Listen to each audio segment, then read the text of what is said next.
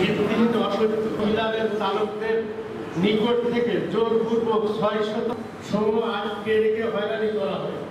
এই ডকুমেন্টস আছে ভাতা পাচ্ছে না।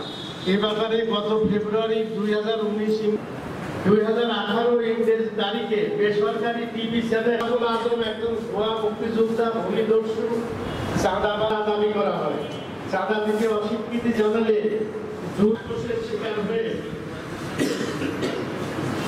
ট্যাক্স প্রদান লাইসেন্সের প্লেট সংযুক্ত ছিল। ওই হয়তুজ্জামান ইকবুল তাদেরকে সান্ত্বনামূলক কাজী আশাফুল আজম নির্বাচিত হওয়ার পর ছলকুটাকে উদ্দেশ্যে নাস্তার করা হচ্ছে। ওটা আমার জানাব আগে।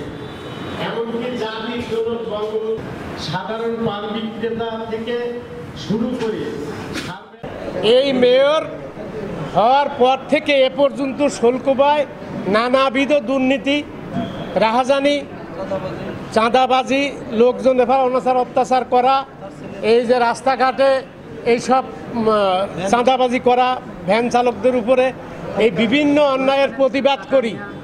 আমরা সেই কারণেই সে আমাদের বিরুদ্ধে সাংবাদিক সম্মেলন করেছে, যার কারণেই আমরা আজকে এই সাংবাদিক সম্মেলন করে প্রকৃত ঘটনাটা আপনাদের জানাতে চাচ্ছি এবং আপনাদের জানাইছি। আমি মনে হয় আপনারা ইতিমধ্যে জানতে পারছেন।